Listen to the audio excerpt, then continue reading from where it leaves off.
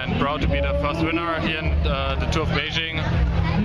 It's now the finish, a really nice finish of, of a long season, and uh, I'm happy now that, uh, that uh, almost that the, the, the holiday are almost there. Uh, some people said, uh, well, the time trial was very important, but does it mean it was an easy?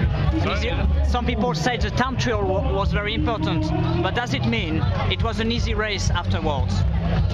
Not an easy uh, race. Uh, even the time trial was not so easy, especially with the road bike. And uh, the third stage uh, was also really uh, hilly. Uh, we had some aggressive riders there, there were many attacks, so it was not an easy day for me. And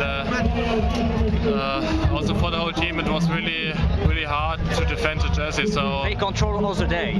yeah, we, we, we controlled the race the, the whole week, uh, so had to work hard for the jersey. Uh, so what will you, you will do now? I go to Chrono des Nations in France, and after that I have a holiday.